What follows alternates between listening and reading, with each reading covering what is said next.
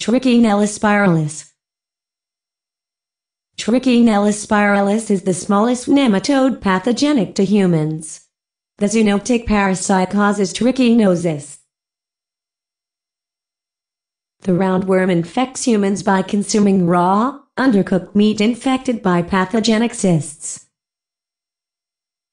Once ingested the larvae develop in the gastrointestinal tract.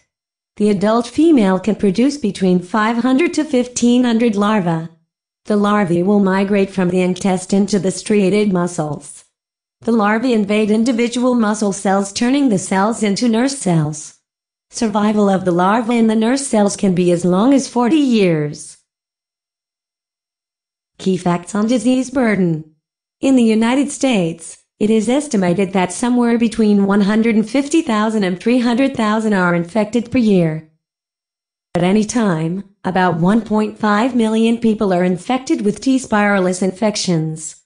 The mortality rate, however, is around 1% as the prognosis for recovery is generally not a problem.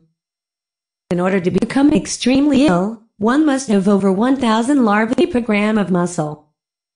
In contrast, 10 or fewer larvae per gram of muscle tissue usually results in little to no symptoms.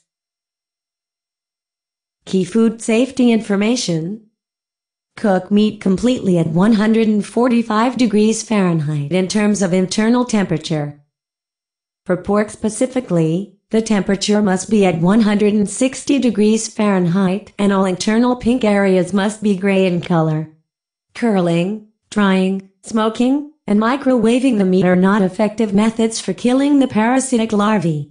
Always remember to clean all equipment used with the meat well. In terms of swine, they should only be fed grain or cooked garbage to minimize contamination.